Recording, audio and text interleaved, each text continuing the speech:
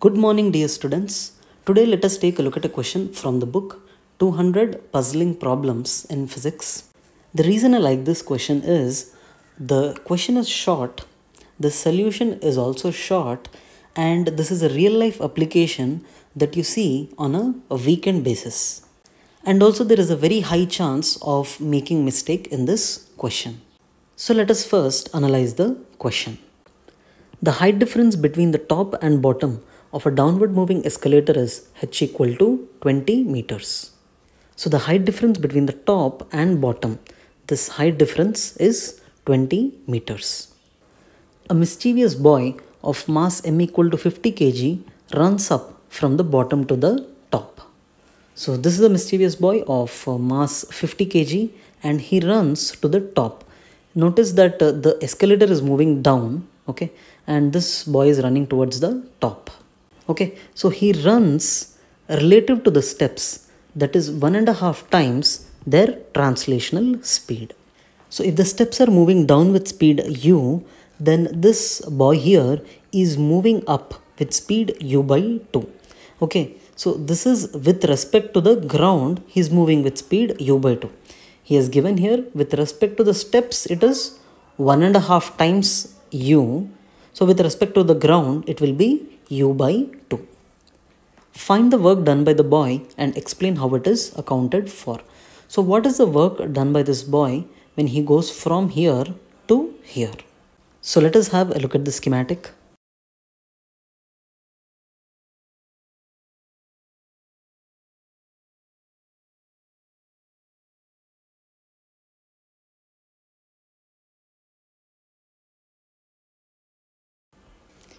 So we can see that the steps are coming down with speed u and this boy is going relative to the ground upwards with speed u by 2.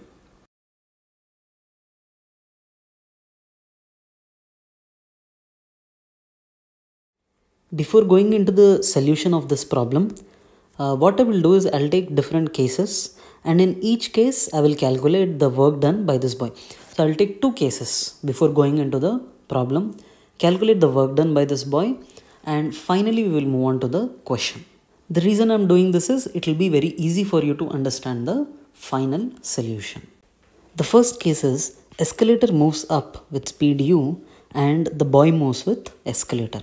Now we need to find the work done by this boy when he moves from the bottom to the top. So let us have a look at the schematic for this case.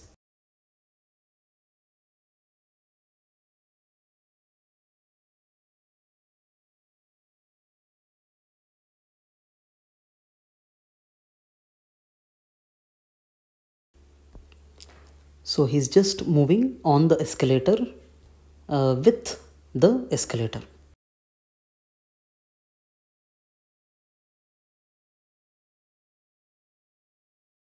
Let us take a look at a free body diagram of the boy here.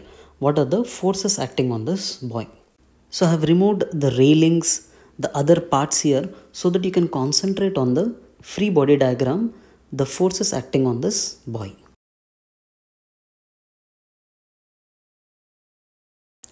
This is a force mg which is acting on the boy in the downward direction and this is a normal reaction n which is acting on the boy in the upward direction.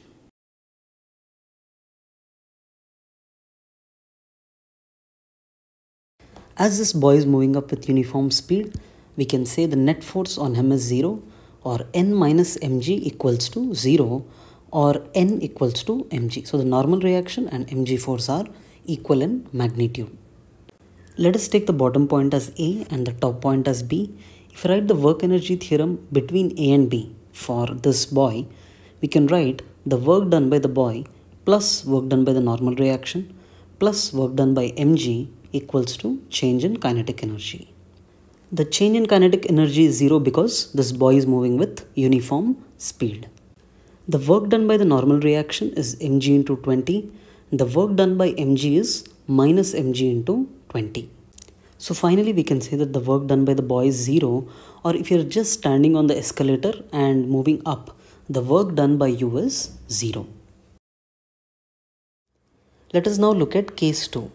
In case 2, the escalator moves down with speed u and the boy moves up with respect to escalator with speed u. So if we see from ground frame, this boy will be at rest. So let us have a look at the schematic.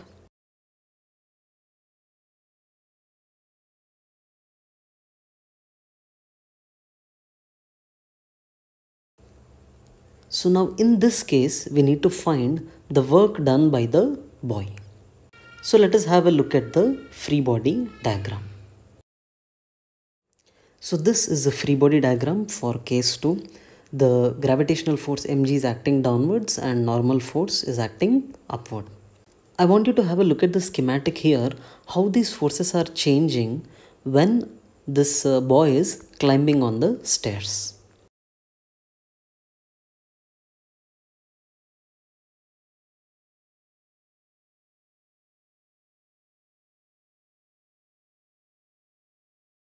As the boy is at rest, we can say n minus mg equal to 0 or the normal reaction force equals to mg.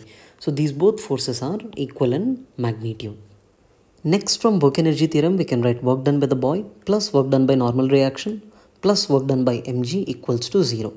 The change in kinetic energy is 0, so the net work done is 0. As there is no displacement of uh, force mg, the work done by mg is 0. The normal reaction the work done is non-zero and the work done is negative. Okay? So why? Let us again see the schematic. So you see the point of application is moving down. The force is upward. So the work done by the normal reaction is negative. And we can conclude that the work done by the boy is positive from this equation. And so that is why even though this boy is not actually moving he's in the same place he still gets tired because the work done by him is positive. Let us move on to case 3 which is the question. In this the escalator moves down with speed u okay and the boy moves up with respect to the escalator with speed 1.5 u which means with respect to the ground he is going up at speed u by 2. Now we need to find the work done by the boy when he moves from A to B. The height difference between these two points is 20 meters. Let us first have a look at the schematic in this case.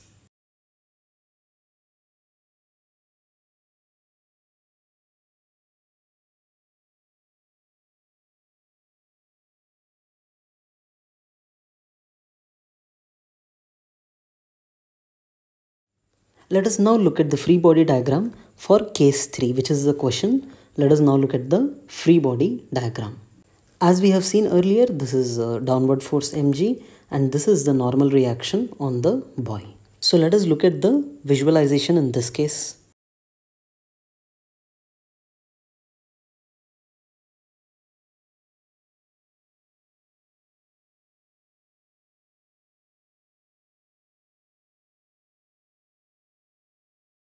So initially the boy is at A and finally he's at B. So first let us see the work done by mg.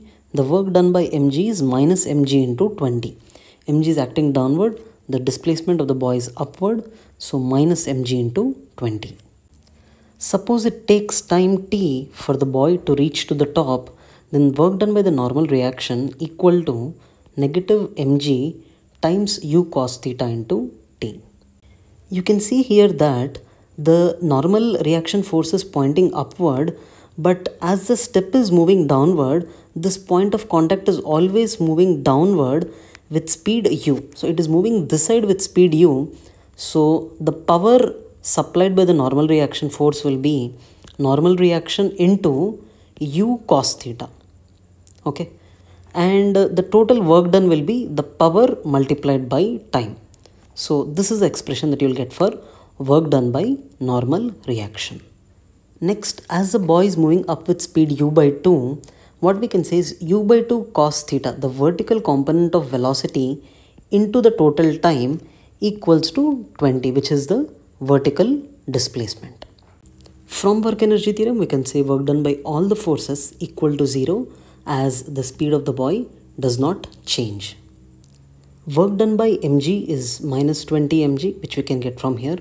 Work done by normal reaction is minus 40 mg we had got u by 2 cos theta is into t as 20 So u cos theta into t is 40.